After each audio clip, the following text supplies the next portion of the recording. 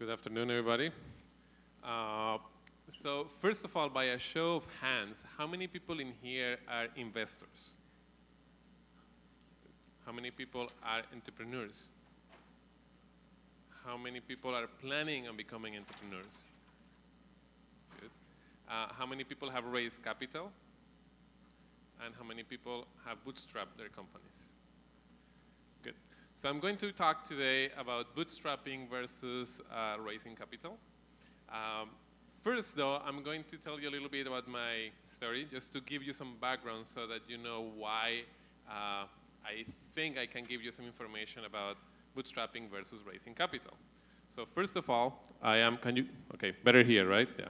First of all, I am Colombian. Uh, I fell in love with computers when I was four. This is me. And uh, why I fell in love with computers? Well, first because I had access to one computer. I come from a modest family, so we didn't have a computer at home. But uh, because I become uh, because I became obsessed with computers, I asked every single adult that I came across for a computer, including, of course, my dad. Now, I didn't used to live with my dad. My parents had divorced, but uh, he told me that now that I was getting into school, primary school, if I got the best score on my school, he will give me a computer. So that had one important effect on me, and that is I became, I became the biggest, or not the biggest, but the most fanatical nerd in school uh, because I really wanted to get that highest score. And in fact, when I was in second grade, I ended up getting the highest score in my school. It was a 5,000 uh, people school, so it wasn't easy. I got a certificate from school. I went to my mom. I told my mom, Mom, please get me in touch with my dad. Two weeks later, I was in the phone with my dad. I told my dad, Dad, I did what you told me. Uh, I got the best grade in my school. Now you can give me the computer that you promised me. And uh, that was 1984. That was uh, 19, 29 years ago. Well, to this day, I'm still waiting for the computer. Uh, not only that, eventually, one of my companies sold computers. He bought a computer from me, but he never paid. So he owes me two computers now. Uh, but I ended up really liking being a nerd, a geek in school. And um, after 10 years of obsession with computers, I finally was able to start my first, or to get my first computer by uh, building my first company.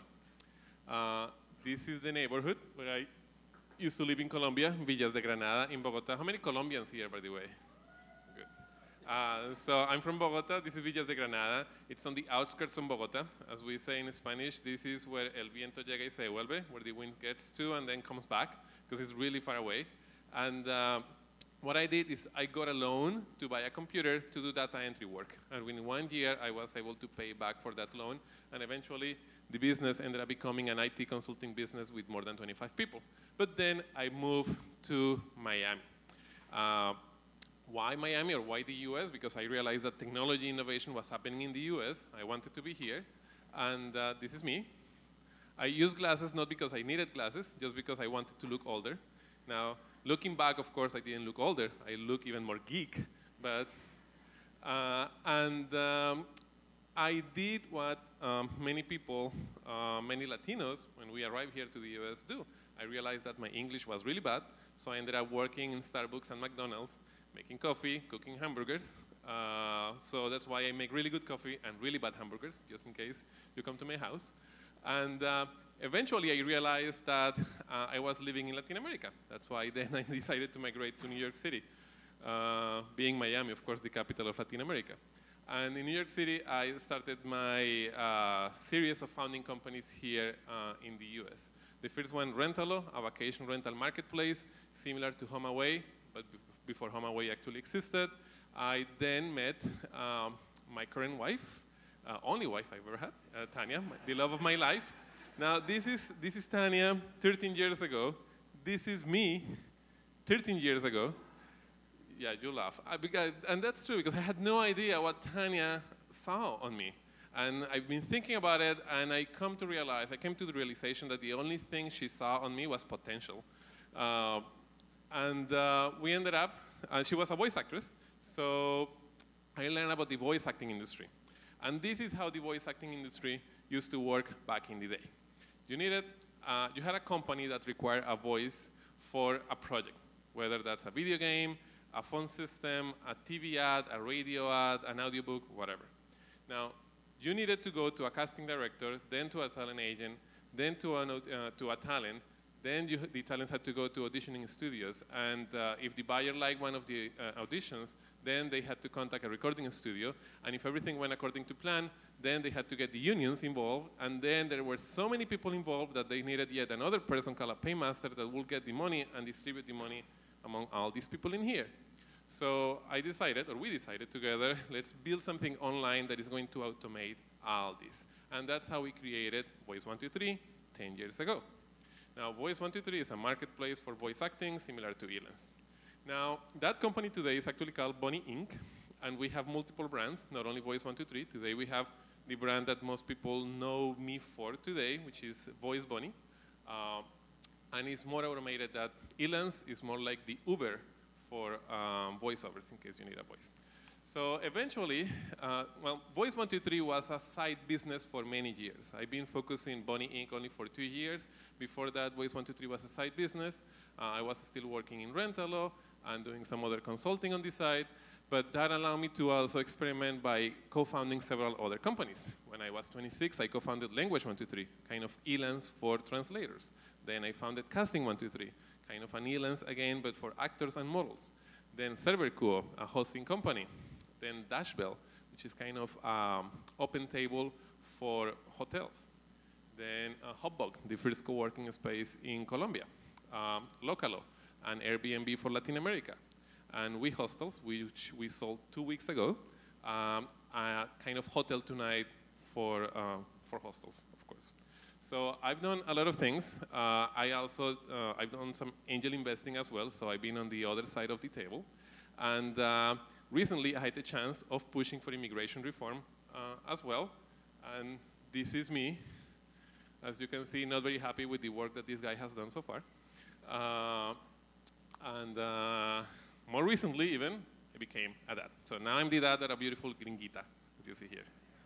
So uh, statistics. So I co-founded, as you saw, 11 companies, 14 different business units within those companies. And uh, out of those companies, I have bootstrap, or we have, because I think that in all of them except one, I've been, I have co-founders. We bootstrap eight of those companies, and we receive capital, venture capital, on three uh, of them. Now, what's the status of those companies? Four of them failed, they no longer exist. Four of them are profitable, they exist, they are making money, and in most cases, they are pay paying dividends. Um, one is hanging in there, so it's one of the ones that raise capital that might or might not make it. We'll see. And uh, we sold two of the businesses. Now, uh, the bottom line, and this is pretty much the core of the presentation. Uh, as an entrepreneur, which ones ended up making me happier and which ones ended up making more money for me?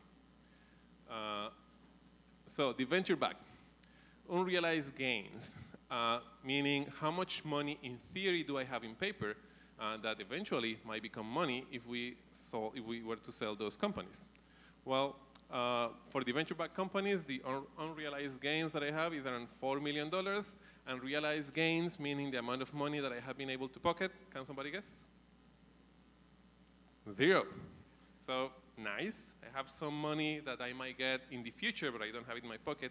I cannot use it. Now, Bootstrap, unrealized gains, $50 million, meaning that's more or less the value of the equity that I have in the companies that I have co-founded if they were to be sold today.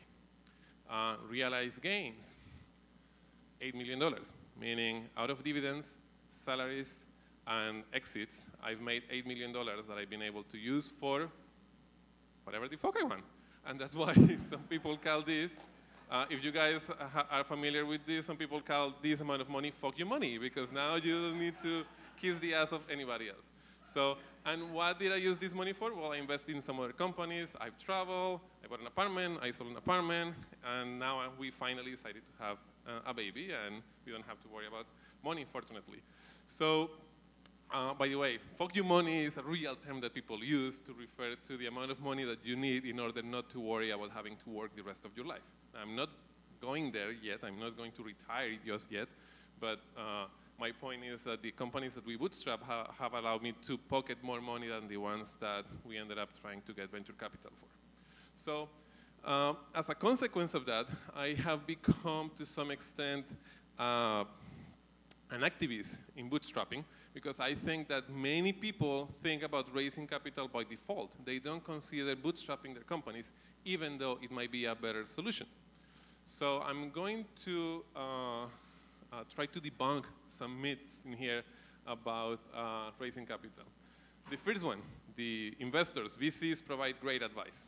Yeah, kind of, but based on my experience, when you build a board of advisors that is well built, you can get much, much better advice, and you don't have to give up 20% of your company. Advisors, they are usually happy with less than a fraction of a point of your company, and they are going to work harder for you than uh, any VC.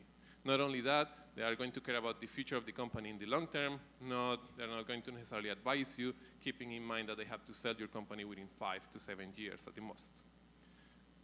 Myth number two, uh, you need capital to grow your user, to your user base. I see uh, a lot today entrepreneurs trying to raise capital to invest in marketing because they have built a product and now they are trying to market the product.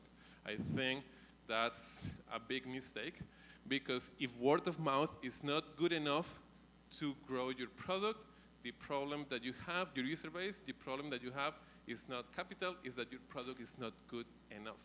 Capital should usually be raised, it's my opinion, of course, when you want to grow faster, not simply when you want to grow from zero to 100. From zero to 100, even to 1,000, you should be able, your product needs to be good enough to grow by itself.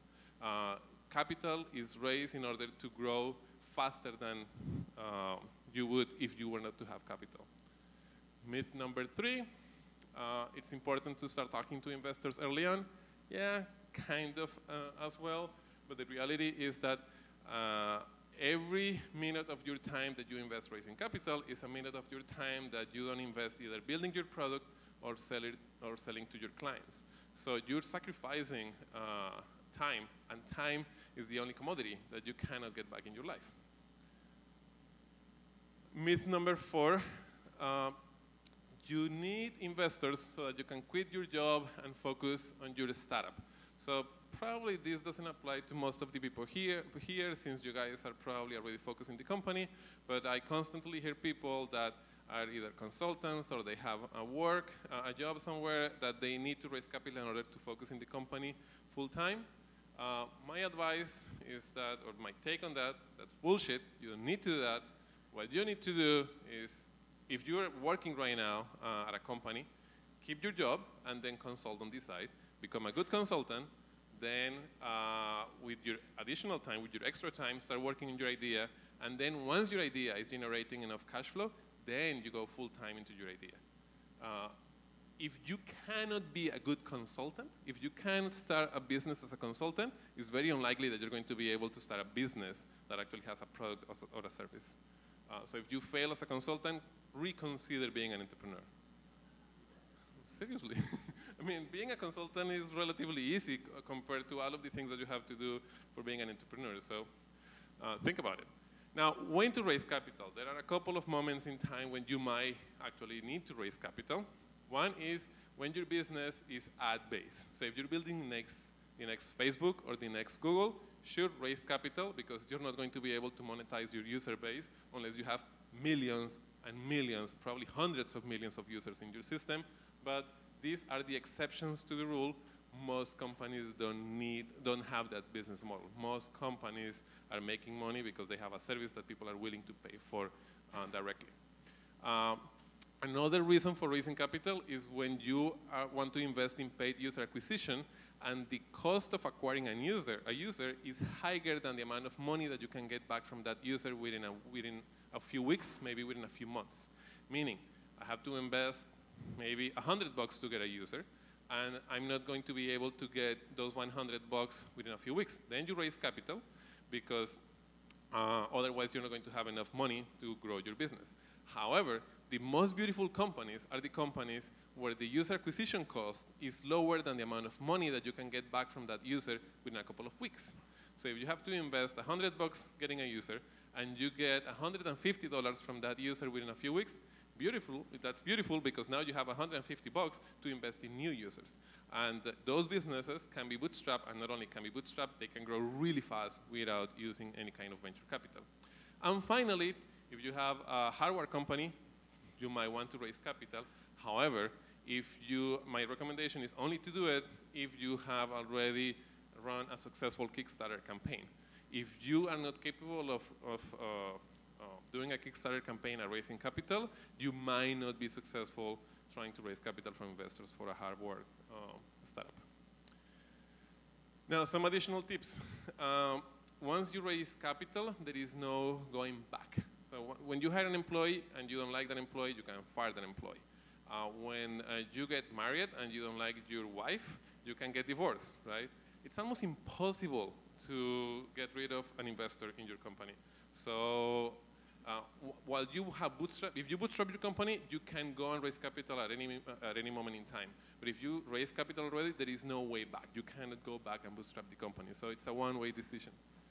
Um, there are many other ways of raising capital. Recently, I was talking to an entrepreneur that has um, that is building a B2B, and the companies are going to pay him 60 days after delivery of the services that they offer. And he needed capital in order to be able to keep the cash flow. He had no idea that he could actually talk to banks, and banks will buy those invoices from him uh, at a discount that is usually very small. And uh, it's not only better, I think, because he's not giving up the company or a percentage of the company to that, but also talking to the banks is going to allow him to scale that business model more and more. If he went, if we went the VC route and he wanted to raise five million dollars to keep that kind of cash in the bank, and he, the business grows, and now he wants to invoice even more, then he will have to raise money once again. So I know that there are some other ways of raising capital as well, venture debt, et cetera, et cetera. If your business is really cool, is cash positive, is growing, uh, many banks are willing to give you money in exchange for just a couple of points of your company. And uh, something else that I've noticed after having 11 companies is that the best businesses, when they are really good, VCs and angels come after you to give you money. And they usually come after you to give you money when the business has reached that moment when it's a good business. Before that, it's very difficult for you to raise capital. Most people are going to say, oh, come back when you have reached this uh, and that goal. So my suggestion is focus on your product, grow your company, talk to VCs, but don't try to raise capital. Talk to VCs and angels as mentors, advisors, not as people that is going to give you money. And eventually, they themselves are going to offer you money when they see that that's a good fit. And in most cases, if you bootstrap, you're going to be able to tell them, fuck you, I don't need your money. Uh, now, finally, as I mentioned at the beginning, don't raise capital just because uh, everybody around you is raising capital. The press, investors, and as I mentioned, I've been an investor before. I continue investing in companies every now and then. Uh, we are really good at making people believe that raising capital is the way to go. Why? Because that's how we make money, right? Uh, but that's not the only way of doing it. Consider doing it the old way, bootstrapping. And uh, finally, if you're an entrepreneur because you want to be happy, based at least on my experience, bootstrapping a company is more likely to allow you to be happy than if you went the venture back way.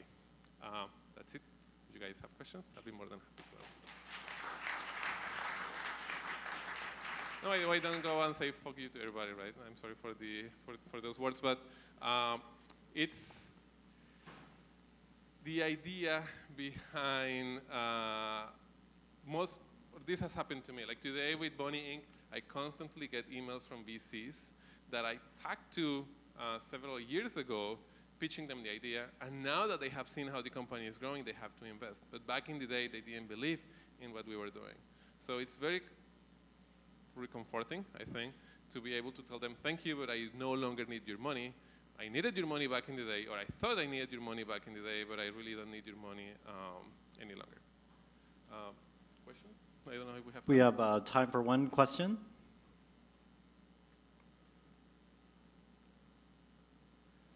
Anyone?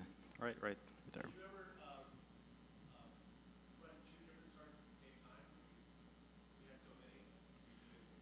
Yeah, no, and that was a big mistake actually. Uh, so I was I was running Voice One Two Three part time. I was investing. I was uh, building Language One Two Three. I became the, the founder of Casting One Two Three. I wasn't executing Casting One Two Three myself. I built a team to to run uh, Casting One Two Three. And based on my experience, it's much better when you focus in just uh, one at a time. That, but now, when you focus in one at a time, you have to iterate really fast because you're going to make a lot of mistakes.